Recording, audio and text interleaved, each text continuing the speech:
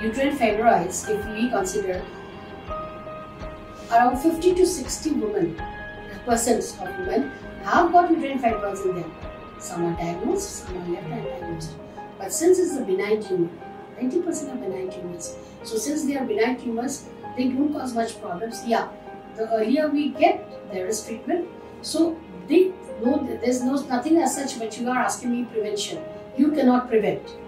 But why a uterine fibroid occurs is because of the uh, increase in the progesterone in the estrogen receptors in the uterine lining. The fibroid occurs from a muscle cell, definitely. But there are plenty of these receptors in the particular area. This causes faster growth of the fibroid. But all fibroids are not fast growing.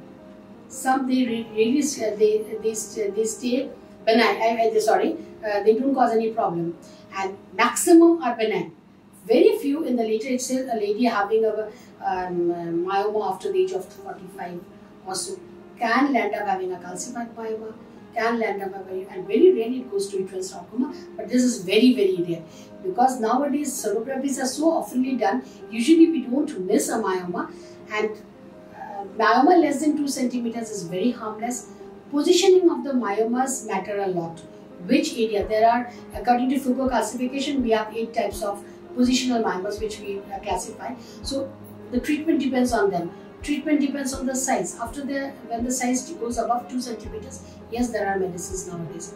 Medicines are available for uterine myoma and we try to give them, we try to keep them reduced until a, a, a lady gets married or gets pregnant. Again, myoma is not the cause of infertility until and unless it is FIGO stage 0 or 1 or 2, say.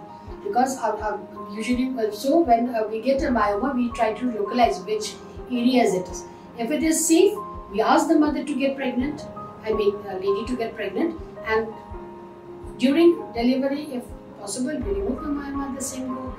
If the uh, only after uh, the lady gives us consent, but usually they do, they do. So that way we get, uh, if it is a cesarean, if it is a normal delivery again, pregnancy may first three months the myoma increases in size. After that the baby takes the upper hand the myoma becomes dominant and the myoma size usually doesn't increase.